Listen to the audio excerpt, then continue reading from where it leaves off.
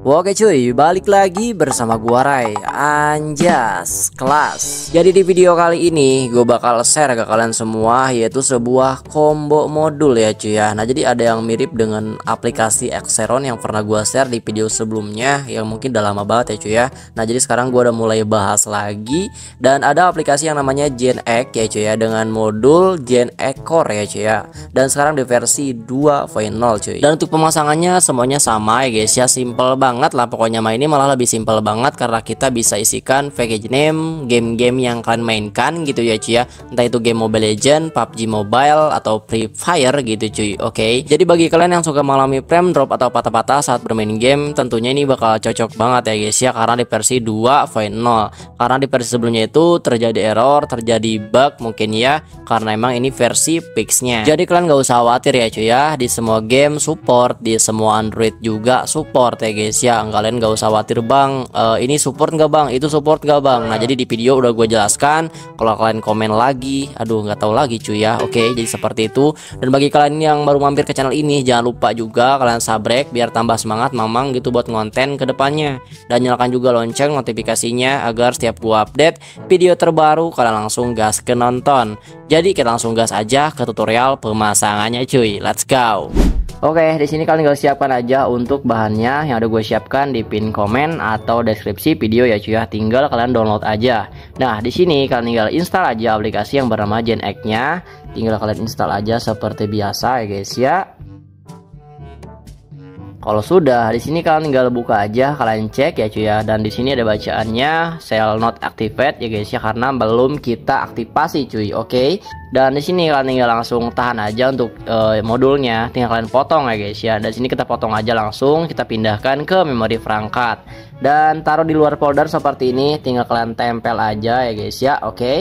dan di sini kalian tinggal klik aja lalu pilih ekstrak di sini cuy. Oke. Okay. dan kalau sudah tinggal kalian masuk aja ke folder yang bernama ZNX ya guys ya. Kalian tinggal buka aja. Dan di sini kalian tinggal masuk ke bagian fitur. Oke. Okay? dan kita buka aja dengan penampil HTML ya guys ya dan di sini untuk uh, cara pemasangan tinggal kalian salin aja perintah SH SD card yang ini cuy ya sampai ujung nih ya run.sh ya cuy ya oke. Okay?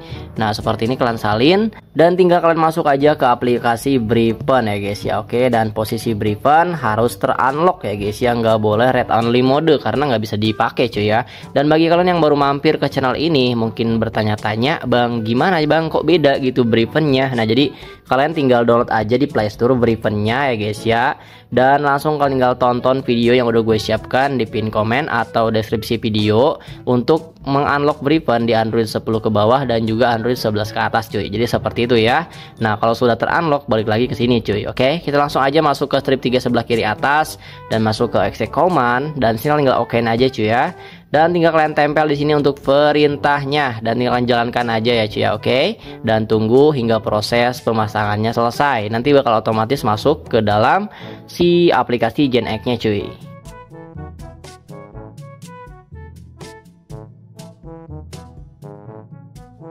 Dan kalian bisa lihat sendiri di sini kita ada masuk ke dalam aplikasi Gen X-nya dan sudah diaktifasi. Kita langsung izinkan aja untuk perintah perizinan filenya di sini. Dan oke okay, di sini ya guys ya untuk defaultnya package name dari Genshin Impact ya cuy ya. Dan sini kita ubah aja uh, package name yang kita mainkan, game yang kita mainkan masuk ke Jet Receiver dan kita cari aja di bagian memori perangkat Android data game ya guys ya. Di sini kan ada Free Fire ya guys ya seperti ini cuy ya. Oke, okay. gue main Free Fire juga dan Mobile Legend ya cuy ya. Oke. Okay. Nah, kalau misalnya kalian pakai HWAG, Mobile Legend HWAG kalian bisa gunakan juga dengan format datanya itu com.mobilegend.hwag guys ya karena di sini gue gunakan ML32 bit cuy. Oke. Okay. Nah, di sini kita langsung aja dan di sini gue mau pasang yang game Mobile Legend aja. Kita tahan aja ubah nama ya guys ya dan kalian tinggal tahan aja seperti ini untuk package name-nya. Tinggal kalian salin aja dan masuk ke aplikasi si Gen X-nya cuy ya. Oke, okay. kita langsung klik aja logo tulis ini yang warna hijau dan di sini kita hapus aja atau tahan terserah kalian dan kita tempel aja langsung. Nah, di sini kan otomatis terubah. Langsung kalian save aja cuy seperti ini. Nah, otomatis nanti sudah terpasang ya guys ya. Tinggal kalian swipe aja untuk to optimize ya cuy di bawah ini.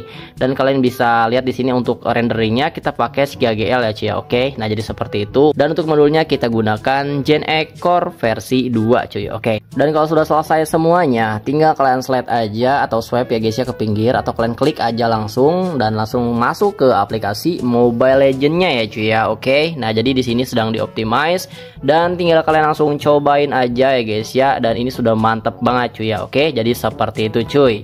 Nah, jadi uh, untuk pemasangannya cukup simple dan pastinya kalian sudah paham semuanya ya karena hampir dari subscriber gue itu pada paham gitu cuy. Skip-skip terus videonya gitu, Bray. Oke. Jadi ya sudahlah gua uh, nggak perlu rinci-rinci banget ya cuy ya. oke yang penting kalian pakai aja gitu bray oke jadi seperti itu jadi gua ucapin terima kasih sebanyak-banyaknya yang udah support gua sampai selama ini jadi selamat mencoba cuy